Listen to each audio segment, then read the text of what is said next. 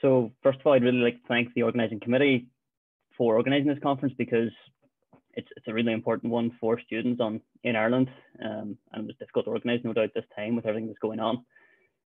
Today, I want to talk about something that what I think is inherently interesting to people.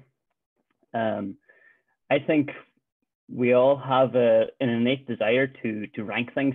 So no matter what you're interested in, there's always a, a ranking question of some sorts. So it could be Pele or Maradona.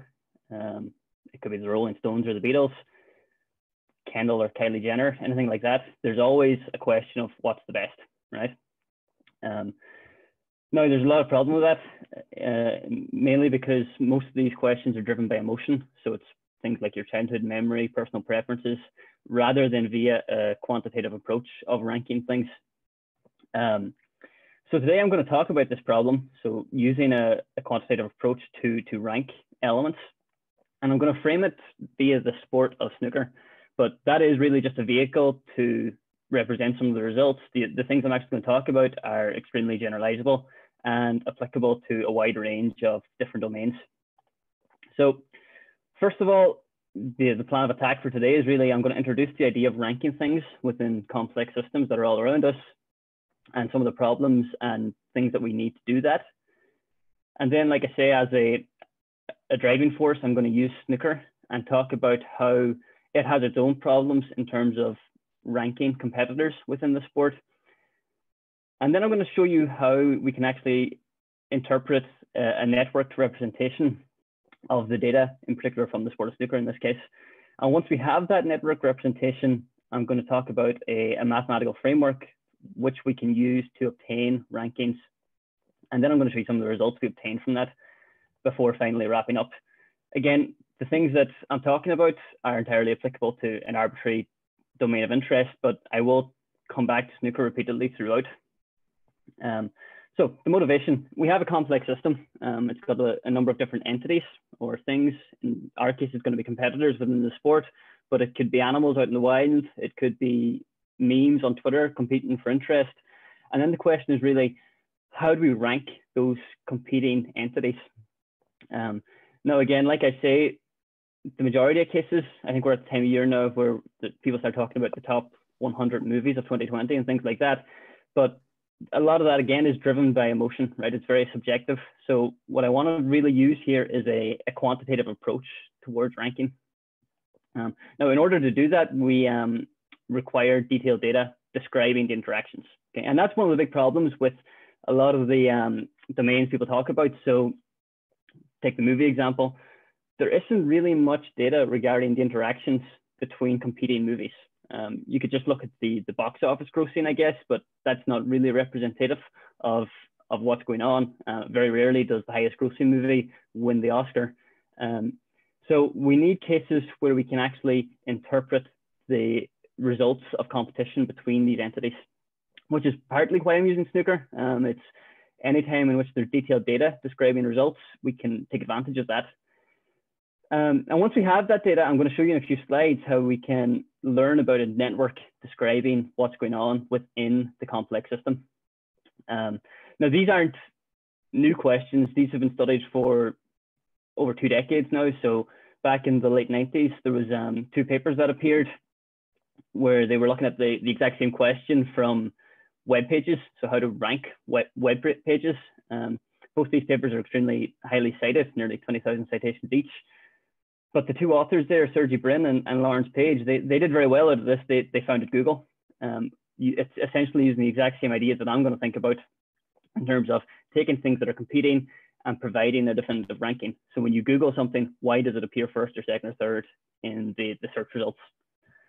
Okay, so okay, a bit, a bit about snooker. It's not entirely necessary to know what snooker is here, but I think it, it might help to flow the talk a bit. So snooker is a cue-based game. Um, so the player at the very top of the picture there is holding a cue. And the idea is that you, you strike a cue ball, so this, this white ball here, into one of the balls of color. Okay, so for example, maybe he's aiming for the blue ball here. I'm not, I'm not entirely sure, but we can imagine. And the aim is to strike the ball into one of the pockets. Okay, so the holes in the corner and sides of the table. And if you do that successfully, you get a certain number of points. So here, O'Sullivan has 23 points so far. Um, and the idea is that you keep doing that until you miss, right? So if you miss, your opponent gets a go, and the game continues until either there are no balls left or your opponent concedes. And if that happens, you win what's known as a frame. So Selby has 10 frames here so far. And you play this repeatedly. So it's a new set of balls for every frame um, until you win a majority. So this game here, for example, is the best of 33. Seems like a lot. It is. Um, these games can go on for three or four days at times. So it's not a, a quick, quick process. Some people um, tell me that it's similar to pool. I think they haven't played much snooker because it's it's much more difficult in my opinion. Uh, if anybody here has played both, I hope they'd agree with me. And the idea behind the professional sport of snooker is that there's a um, a number of tournaments each year in which players compete in. Right, they're generally knockout tournaments, and you play until you win. Right, you get that final, and if you win that final, you win. And then classically, the way that snooker ranked the competitors within the sport was on a, a points based uh, method. So on depending on the tournaments you played in and won or had wins in, you obtained a certain amount of points, and then they tallied them at the end of the season to see who's the best. That changed in um, in 2013. So instead of being based on directly points, it was instead based upon the prize money that you won for appearing in tournaments.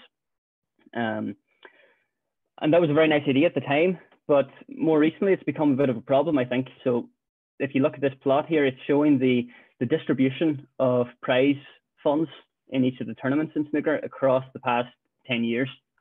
And so from 2009 2013, it was a very good idea because it was pretty symmetric, right? There was one skewed point at the very end there. But in more recent times, as snooker has become more popular in recent years, the distribution of these prize funds have become increasingly skewed. So certain players can get a very high ranking by performing well in a very select few number of tournaments. Okay, so kind of motivation. There's a problem with the ranking scheme in snooker, so that was another reason for taking it as the the question of interest here. So, what did we do? Well, we needed data, like I say. So one thing that's great about sports is that there's always fanatics that will collect data from extended periods of time. So on this website, cuetracker.net, there's over 100 years worth of results from, from snooker games. So what we did was we scraped that entire website. Um, and in particular, we're going to focus on when snooker became professional, right? So when people started making a living from it in 1968. And with that filter, it ends up that we have over 600 unique tournaments, which featured over 1,200 players and nearly 50,000 actual matches between those players. Secondly, we also obtained um, the official rankings. So from the actual sport of snooker, they, ha- they produce official rankings, like I mentioned before. We have them from 1975. That's when they started publicly producing them and I'll come back to that in a minute actually. So a bit of a look at the, the data itself. Um, so on plot on the bottom left here, I'm just showing the, the distribution of the number of tournaments in each season within the sport. I think this is actually an interesting plot because it, it really tells the, the story of snooker. Uh, so let me walk you through it a bit. So snooker became professional in the, the late 60s, like I say, but again, it was fairly low profile until the mid 70s. Um, and a big part of the reason for that is color television became a thing. So snooker was a a real poster boy, I guess you can call it, for for color television because spectators could see the color of the ball that was being potted. Um, so that drove an increase in snooker's popularity throughout the 70s and 80s. Um, one of the problems was that snooker had a, a deep relationship with the tobacco industry. Um, so the, the, the UK government decided to ban tobacco advertisement in snooker in the, the mid noughties there. So you can see that tailing off from the late 90s to mid noughties um, and reaching, I guess, a local minimum around 04, 05. But then it did start to increase in popularity again. So an, a new committee came in and changed many things, including how they ranked the players. And that resulted in a growth in the popularity in snooker around the world, really, whereas where now there's over 20 tournaments every year. The Plot on the right just shows the number of players that appeared in those tournaments um, in each season and it, follows really the same shape, so it's telling the same story there. So that's kind of the, the background story of snooker.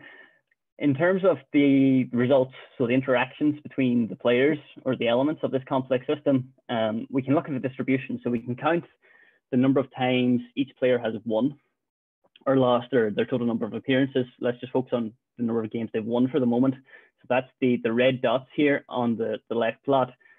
That describes the probability of finding a player who's won n games. Now, what I really want you to see here is that it's on a, log-log scale. So it's, it's a heavy tail distribution, which is indicative of a complex system. And I'll talk more about that in a moment. Um, the plot on the right showing the similar thing, but it's the um, it's the probability of having n or more matches. Okay, and again, it's log log scale, very heavy tailed. So that suggests there's some kind of complex system going on here. Right. So if there's a complex system, we should be able to interpret a network within that. Um, show me the network, I guess. So here's an example one where we have three players, Steve Davis, Steve Hendry, and Ronnie O'Sullivan. Where do we get the network? So suppose Hendry and Ronnie O'Sullivan play and Hendry wins. I can draw an edge from Hendry to Ronnie, okay? And then Ronnie plays Steve Davis, Ronnie wins again. I can draw another edge. So every time one player loses to another, I just draw an edge. So now Steve Davis has lost to Stephen Hendry, so I can draw that edge. And suppose that Ronnie's playing Hendry again and Ronnie O'Sullivan wins. No, no, no guessing who my favorite player is here. It's Ronnie. Um, but we don't really just use two edges. We actually just assign a weight to the edges. So this is a, an edge with weight two now. Um, so that's the, the key quantity of interest here in the network. It's the this weight ji, so the number of times that player j has lost to player i. So we do that across the entire data set. Um, or we can look at any period we want, and I'll talk more about that in a few moments as well.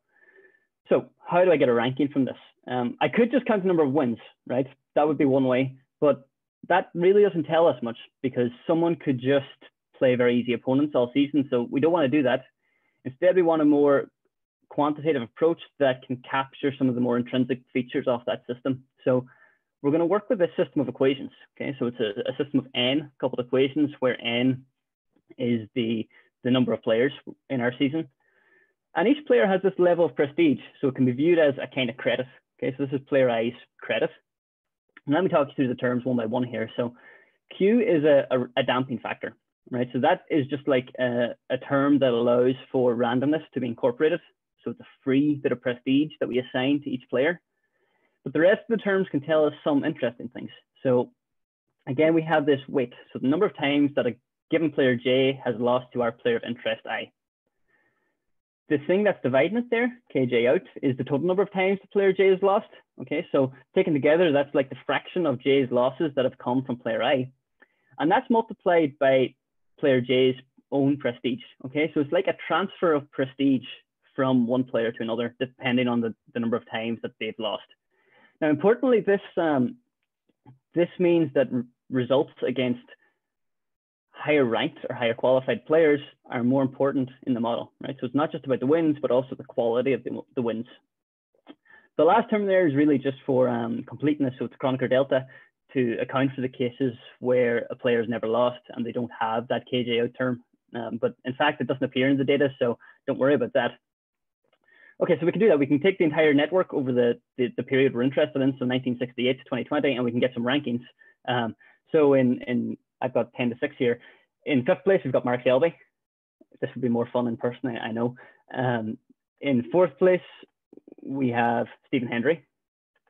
In third place, Mark Williams, known as the, the Welsh potting machine, actually. Second, this was kind of a surprising result for me, um, Ronnie O'Sullivan, right, the Rocket. And lastly, first place, John Higgins, right, the Wizard of Wishaw. Again, this result was very surprising for me. I was sure Ronnie was going to be before I started this problem. Um, I don't think people have a lot of interest in this if you're not interested in snooker, but hopefully some people are. But we can look in some more quantitative details about what the model is actually telling us. So if I compare the ranks based upon this prestige model and the ranks based upon the number of wins, I can look at this line. Okay, so the red line here is like a reference. Now, if I take some points in that plot, if I just ranked by wins, Stephen Hendry would be the third best player in the world. But because I ranked by prestige, Mark Williams is. So what this is really telling us is that the wins that Mark Williams had to get, so while he got less than Stephen Hendry, they were against higher quality opponents. So the reference line there allows us to interpret which players have been fortunate in the, their wins in terms of getting easier opponents in for those players above the line and more difficult opponents for those below the line. So that's one thing we can learn straight away.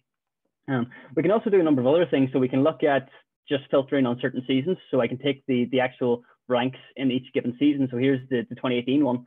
And I'm showing two things here. The first one's comparing the prestige ranking and the number of wins. Again, they're very highly correlated. They do well.